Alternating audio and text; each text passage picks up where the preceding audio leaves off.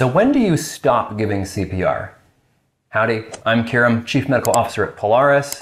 This is CPR for noobs. I'm gonna give you some tips right now on how to save lives. Let's do it. So, um, when should you stop doing CPR? There's a few uh, instances.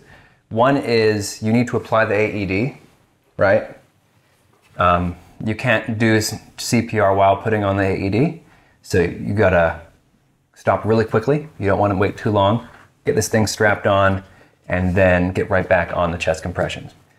Another circumstance where you would stop doing CPR is if you're too exhausted. It's really exerting, trust me. Five minutes of CPR is uh, quite a workout.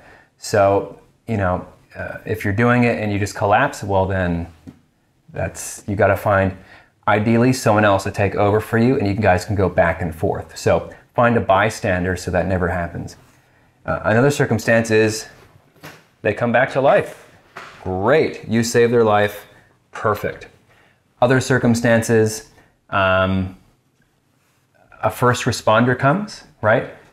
A nurse, an EMT, a doctor, and they take over uh, for you. Another circumstance where you would stop CPR is if, if it's clear that they're, it's been so long that they're fully dead, in other words, right? The, this, the body is cold and so on, past the point of no return. So those would be the instances where you would stop giving CPR.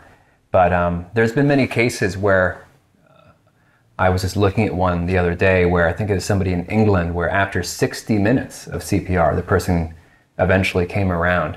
So you want to go as long as you can go. All right, so those are all the reasons why you would uh, stop CPR.